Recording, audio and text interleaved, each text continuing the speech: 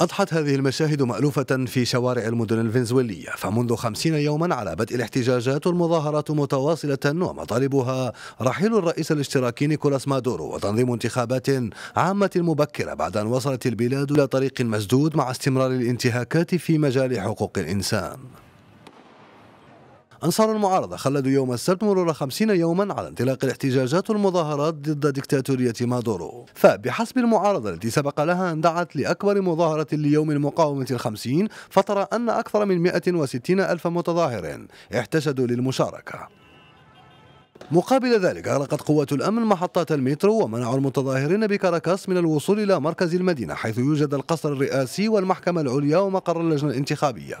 وتخلل هذه المظاهرات مواجهات عنيفة بين عناصر قوات الأمن والمحتجين. الغاز المسيل للدموع والرصاص المطاطي وخراطيم المياه من جهة قوات الأمن مقابل الحجارة والزجاجات الحارقة من المدنيين. السلطات الفنزويلية تزعم أن قوى غربية وعلى رأسها الولايات المتحدة الأمريكية هي من يقف وراء الاحتجاجات وأعمال الشغب هاته. لكن الحقيقة عكس ذلك.